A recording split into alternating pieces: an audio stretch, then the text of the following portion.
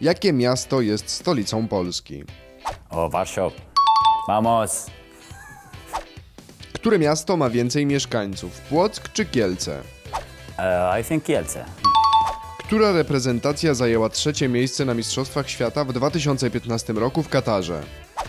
Ah, Polska, tak. against Spain, no? It was against Spain. Tylko dwóch Polaków grało w Barcelonie. Czy wiesz, którzy to? Oh my god. Si, si, si, si. Kamil Sipszak. Sipszak. And the other is... Oh my god. Ah, Venta. Vamos! Najbardziej utytułowany polski skoczek narciarski to? Podpowiedź zdobył trzy złote medale Igrzysk Olimpijskich. I don't know anything about the ski jumper. I don't know. Oh my god, I don't know. Sorry. Tylko jeden kierowca z Polski startował w Formule 1. Jak się nazywa? I know just one, just Robert Kubica, no?